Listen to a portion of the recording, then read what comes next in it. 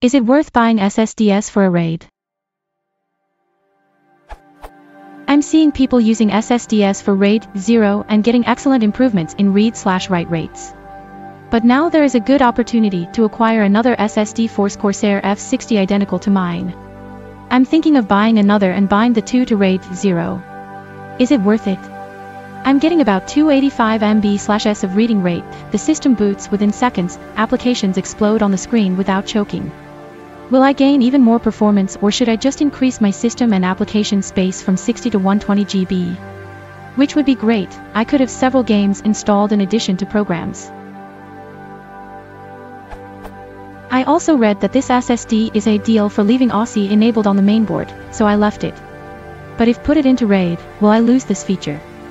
It has the options IDE, AHCI, RAID slash XHD. Or does that even have anything to do with it?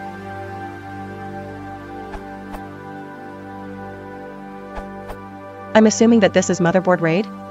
If it is, I would stick with just a single drive. The RAID controller on a motherboard works, but tend to be the lowest quality RAID controllers. For most home users, it's not worth it since you really won't see any improvement over what you have right now. I'd save your money and get bigger capacity drives if you want more space. That doesn't mean SSD RAIDs don't have a proper use.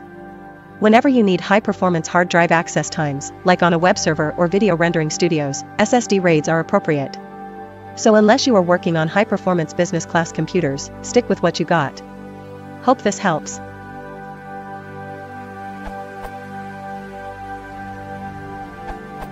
RAID 0 should get you faster reads and writes, but you do really need that. Note that if you lose one drive of a RAID 0 pair, you just lost the volume, wherewith with two drives operating independently, you've still got the data on the good drive. Also, note that without special driver support, you'll be giving up trim support on the array. I think RAID implies AHCI, on Intel boards at least.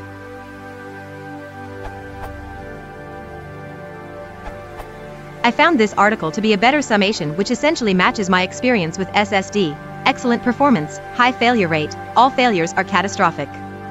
For my money, I'm avoiding them from now on until they're a little more reliable. I don't have that kind of disposable income.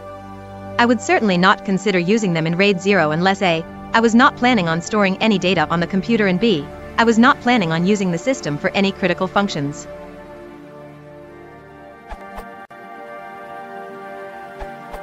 With the right controller that has trim support you can, but SSD drives fail fairly regularly so you really want to go with a RAID solution that offers redundancy. If you want to support the channel, please consider liking and subscribing.